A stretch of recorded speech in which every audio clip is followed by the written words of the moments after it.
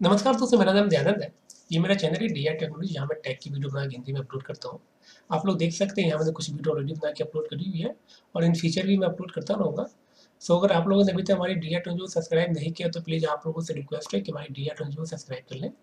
आज मैं D R technology के लिए ट्यूटोरियल बना रहा हूँ, जिसके अंदर देखेंगे कि अगर आप लोग अपने लैपटॉप में कंप्यूटर में आउटलुक दो हज़ार सिक्सटीन यूज़ करते हो और चाहते हो कि आप उसका समय समय पर अपने डाटा का बैकअप लेके रखें तो उस डाटा को आप एक्सपोर्ट करके अपने कंप्यूटर के अंदर डी ड्राइव में हार्ड ड्राइव में रख सकते हो।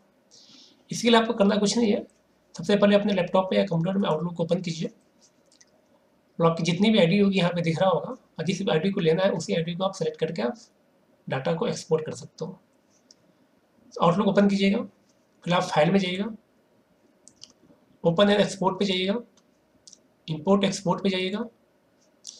इसके बाद ये मेनू खुलेगा इंपोर्ट एंड एक्सपोर्ट विजार्ज यहाँ पे आपको सेलेक्ट करना है एक्सपोर्ट टू ए फ़ाइल फिर नेक्स्ट पे सेलेक्ट कीजिएगा Outlook data file dot P S T फिर नेक्स्ट पे क्लिक कीजिएगा।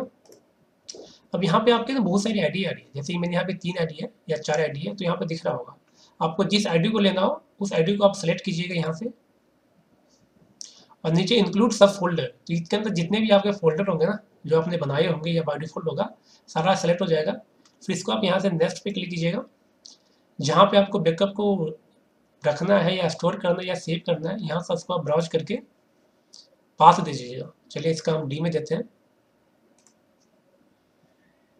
डी के अंदर, और ये मैं बाईस ज़ीरो दो हज़ार अठारह, ठीक है?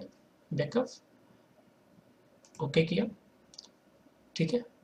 इसको मैंने फिनिश किया। अब मैं यहाँ पे ईमेल आईडी का पासवर्ड डालूँगा।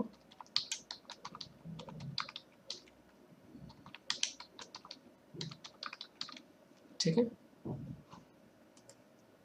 उसके बाद आपको यहाँ से फिर से ईमेल आईडी का पासवर्ड डालना है। इसको मैंने ओके किया।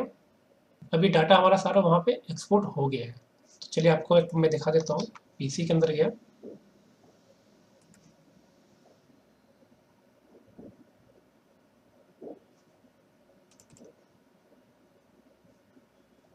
ये देखिए, ये आ गया ना।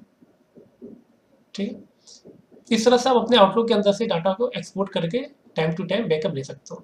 इसके अलावा अगर इन फ्यूचर कुछ पूछना हो तो आप मेरे से कमेंट में पूछेगा उसका मैं रिप्लाई करने की कोशिश करूँगा। बाकी जाते जाते आप लोगों से मेरा फिर से रिक्वेस्ट है कि हमारे डी आर सब्सक्राइब करना बिल्कुल ना भूलें। मिलते हैं इस वीडियो में किसी और टॉपिक को लेके। तब तक के लिए बाय